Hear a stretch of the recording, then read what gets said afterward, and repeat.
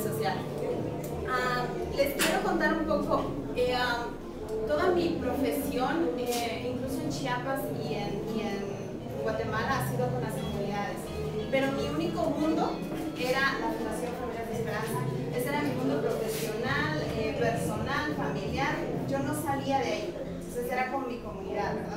Entonces, el año pasado, cuando escucho de esta, de esta capacitación y de esta organización que está haciendo estas capacitaciones de liderazgo, empieza mi, mi curiosidad y mi interés, porque sí, como líder, con tantos este, retos que tenemos, eh, creo que llega un momento en el que dices, ¿qué más?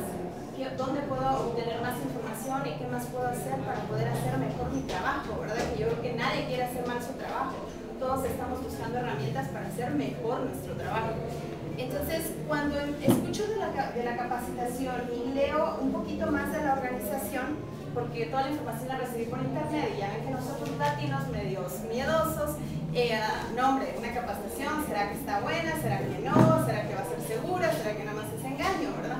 Entonces me pongo a investigar un poco de quiénes son ellos, qué hacen y, por qué están haciendo esta capacitación y leo en su misión que es cultivar e inspirar una nueva generación de ciudadanos globales quienes motivados por un compromiso al servicio y teniendo habilidades prácticas y de pensamiento crítico pueden, mediante una comunidad global de apoyo, crear un cambio social positivo en el mundo.